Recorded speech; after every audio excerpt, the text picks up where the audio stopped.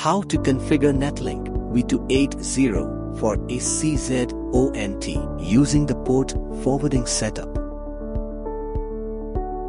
First open your web browser.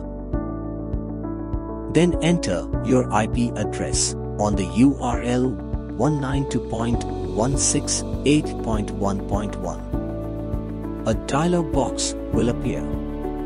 Type your username and password. Default username admin. Password STDONU101. Enter the verification code and click on the login button. We will log in to the ONT status pages. Before configuring the port forwarding, the firewall level must be low. Select the security tab. Select the firewall option. Set firewall level as low. Click the submit button. Then to configure port forwarding. Select the application tab on the menu bar. Application settings options are available here. You can select the advanced net option. Select the add button. Then complete the configuration. Type your service name. Then enter your server IP address that is OLT IP.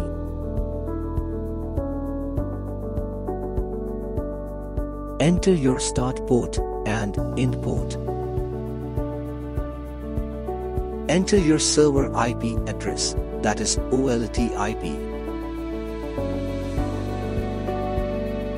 Enter your internal local area port number.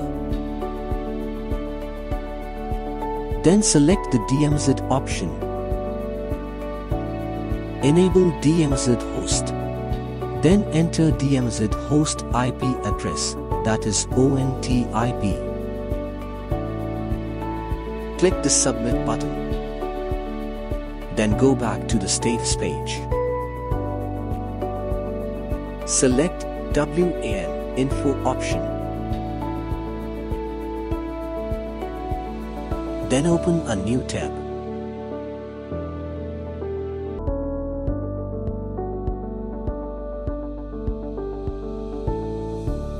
The OLT login page will appear. Type your username and password. Default username admin. Password expon at OLT9 for 17 hash. We will log into OLT status page and you can see the OLT basic information details. Now we are able to access the OLT remotely.